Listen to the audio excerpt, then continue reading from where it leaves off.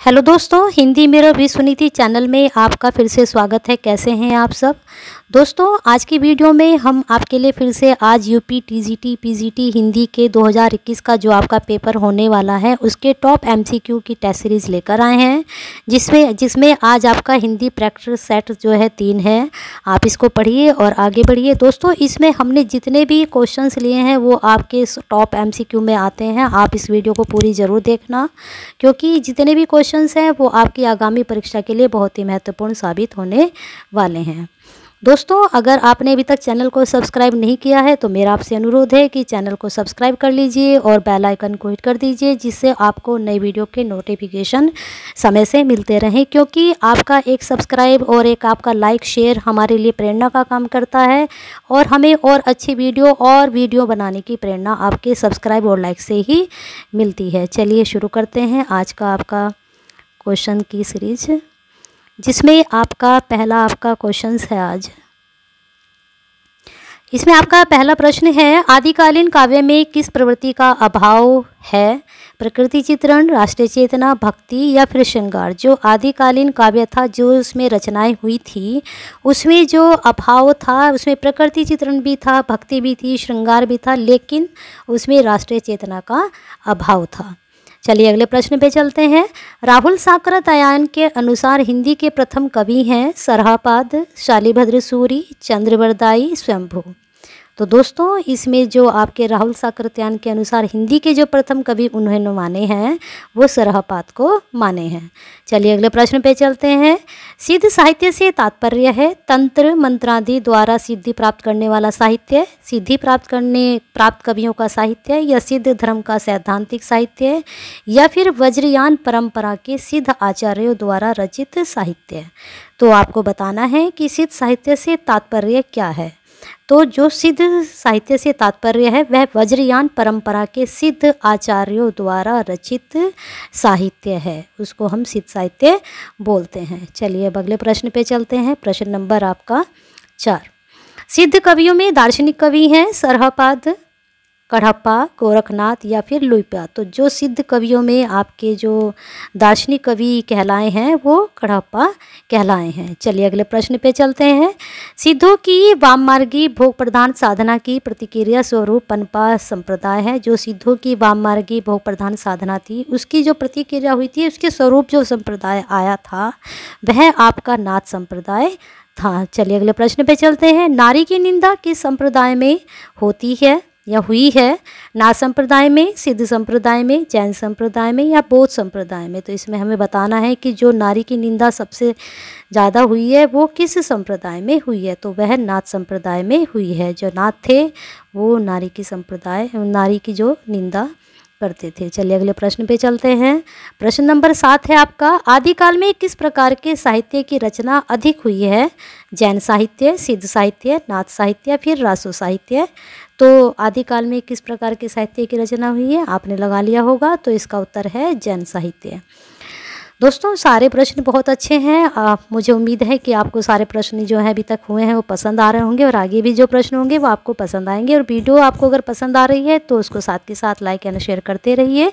अगला प्रश्न है नाथों ने अपने संप्रदाय के सिद्धांतों का प्रचार प्रसार करने के लिए किस भाषा का प्रयोग किया? अवट भाषा साध्य भाषा सदुगड़ी भाषा या फिर अवधि भाषा? तो नाथों ने अपने संप्रदाय के सिद्धांतों का प्रचार प्रसार करने के लिए जो प्रयोग किया था वो आपका अवहट भाषा का प्रयोग किया था। चलिए अब अगले प्रश्न पे चलते हैं। प्रश्न नंबर आपका नो है। संधा भाषा का अर्थ है अंत साधनात्मक अनुभूतियों के संकेत करने वाली प्रतीक भाषा, कर्कश शब्दों से युक्त प्राकृत भाषा, मधुर शब्दों से युक्त पाली भाषा या फिर तत्सम शब्दों से युक्त प्राकृत भाषा। तो जो संधा भाषा का अर्थ था, वह जो अंत सा साधनात्मक अनुभूति होती थी, उसको संकेत करने वाली जो प्रतीक भाषा होती थी, वह संधा भाषा कहलाती थी। चलिए अगले प्रश्न पे चलते हैं। संधा भाषा का प्रयोग किया है। संधा भाषा तो आपको पता चल गया क्या है, लेकिन इसका प्रयोग किसने किया? सिद्धों ने, संत कवियों ने या फिर जैन कवियों ने या भ्रंश के कवियों ने? तो इसे बताना है संधा भाषा का प्रयोग किया है, किसने किया है? सिद्धों ने। चलिए अगले प्रश्न पे चलते हैं।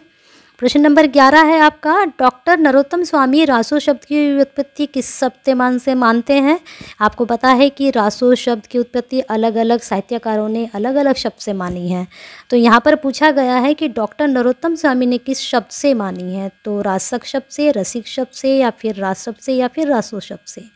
तो इसमें दोस्तों बताना है कि किसने मतलब उन्होंने किस शब्द से मानी है? तो उन्होंने रसिक शब्द से मानी है। चलिए अगले प्रश्न पे चलते हैं।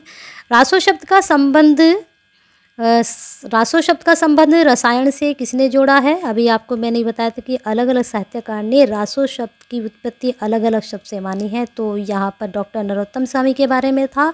और प्रश्न नंबर बारह में सीधा पूछा गया कि रसायन से किसने जोड़ा है? आचार्य रामचंद्र शुक्ल, डॉक्टर नरोत्तम स्वामी, गणपति चंद्रगुप्त, राहुल साकृतयान बताइए आप इसमें। तो इसमें है आपका आचार्य रामचंद्र शुक्ल जी ने जो है रसायन शब्द जोड़ा है रासो शब्द के साथ। चलिए अगले प्रश्न पे चलते हैं। अब आपका प्रश्न नंबर है तेरह।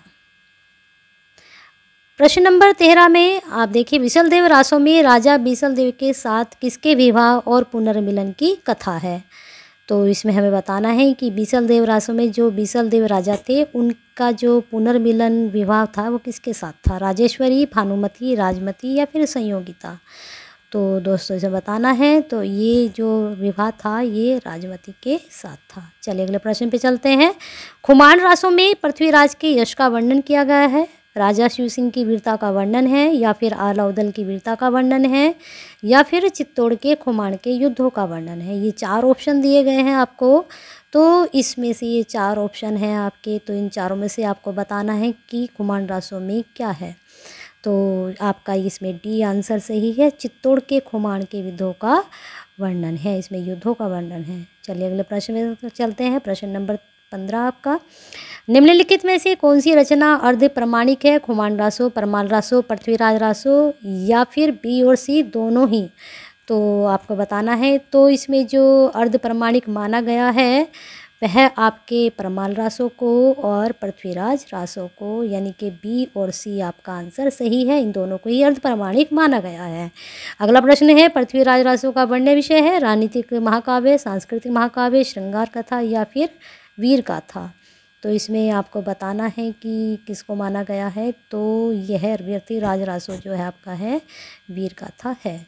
चलिए अगले प्रश्न पे चलते हैं। पृथ्वीराज रासो के रचना विधान में सर्वाधिक विवादास्पद पक्ष है। प्रबंधात्मकता या फिर पात्रों का नामकरण या फिर भाषिक संरचना या फिर ऐतिहासिकता? तो दोस्तों, इसका सबसे जो सर्वाधिक विवादास्पद पक्ष है, वह इसकी ऐतिहासिकता है, यानी कि इसकी ऐतिहासिकता है। चलिए अगले प्रश्न पे चलते हैं। आपका प्रश्न नंबर अट्ठारह पृथ्वीराज रासो को प्रमाणिक माना है। आचार्य रामचंद्र शुक्ल ने, गौरीशंकर हरिचंद्र ओझा ने, डॉक्टर वूलन ने, डॉक्टर श्याम सुंदर दास जी ने। दोस्तों, आपको बता दूँ, किसी ने पृथ्वीराज रासो को अर्ध प्रमाणिक किसी ने प्रमाणिक और किसी ने इसको अप्रमाणिक माना है। तो इसमें प्रमाणिक किसने माना है, उसमें हमें बताना है। आचार्य रामचंद्र शुक्ल, गौरीशंकर हरिचंद्र ओझा, डॉक्टर वूलर डॉक्टर श्याम सुंदर दास तो दोस्तों, जो डॉक्टर श्याम सुंदर दास जी हैं, उन्होंने इसको प्रमाणिक माना है। फिर है आपका प्रश्न नंबर, आपका उन्नीस चंद्रवरदाई को पृथ्वीराज का समकालीन किसने कहा? करसा तासी, आचार्य रामचंद्र शुक्ल हजारी प्रसाद द्विवेदी या फिर डॉक्टर नामवार सिंह? तो जो चंद्रवरदाई को पृथ्वीराज का समकालीन किसने कहा है, इसमें आपको बताना है। आपने बता दिया होगा तो गारसा दातासी ने कहा है आपके उत्तर। मुझे लगता है कि सभी सही जा रहे होंगे और जिसके प्रश्न उत्तर बिल्कुल सही जा रहे हैं, इसका मतलब उनकी तैयारी बहुत अच्छे से की है उन्होंने। अगला प्रश्न है, छंदों का अजायब घर कौन सा ग्रंथ कहलाता है? परमाल रासो बीसल देव रासो कुमार रासो, पृथ्वीराज रासो। तो छंदों का जो अजायब घर है, वो कौन सा ग्रंथ कहलाता है, इसमें आपको बताना है। तो ये पृथ्वीराज रासो को कहा जाता है। चलिए अब अगले प्रश्न पे चलते हैं। आपका प्रश्न नंबर इक्कीस ये आ गया। ऐसे रासो ग्रंथ के रचनाकार का नाम बताइए, जिसकी रचना अजमेर के शासक से संबंधित है। नल, दलपति विजय, नरपति नाला नल सिंह मधुकर भट्ट। तो ऐसे रासो ग्रंथ की हमें उसमें रचनाकार का नाम बताना है। जिसकी रचना अजमेर के शासक से संबंधित है। तो इसका आपका बी आंसर सही है। नरपति नाला की जो रचना है, वो अजमेर के शासक से संबंधित है। चलिए अब अगले प्रश्न पे चलते हैं। प्रश्न नंबर आपका बाईस, ये आ गया। रासो काव्य और उनके रचनाकार के संबंध में निम्नलिखित में से कौन से एक सही सुमिलित है? पृथ्वीराज रासो, जगनिक परमाल रासो, कल्हड़, अमीर रासो, नरपति नाहला कुमार रासो, दलपति विजय। तो दोस्तों, ये आपको पता ही होगा कि इसमें जो है आपका उत्तर डी सही है। कुमार रासो जो है दलपति विजय के द्वारा लिखा गया है। चलिए अगला प्रश्न पे चलते हैं। निम्नलिखित कृतियों और उनकी कृतिकार के संबंध में असत्य कथन को चुनिए। वहाँ पर हमने जो है मिलाया था कि उसमें एक ही सही था, लेकिन यहाँ पर एक गलत है आपका। तो परमाल रासो जगनिक, खुमान रासो दलपति विजय ये आपने भी पढ़ा है, ये बताइए आपको, संदेश राशक अब्दुल रहमान, जस चंद्रिका, जिनीदत्त, सूरी। तो इसमें आपको बताना है कि इसमें कौन सा असत्य कथन है। तो जो आपका ये ट्वेंटी थ्री का जो आपका उत्तर होगा, वो होगा डी। ठीक है, ये आपका डी होगा, जस चंद्रिका जनी सूरी की नहीं है, ये मधुकर जी की है। चलिए अगले प्रश्न पे चलते हैं। प्रश्न नंबर आपका है चौबीस। हम चौबीस पर। देखिए इसको।